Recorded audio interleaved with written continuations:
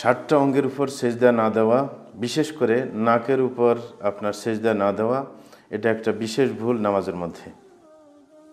হজরত ইবনে আব্বাস রদি আল্লাহ আনহুমা থেকে বর্ণিত তিনি বলেন রসুল্লাহ আসলাম এরশাদ করেন যে আমাকে আদেশ করা হয়েছে, আমি যেন ষাটটি অঙ্গের উপর সেজদা দেই।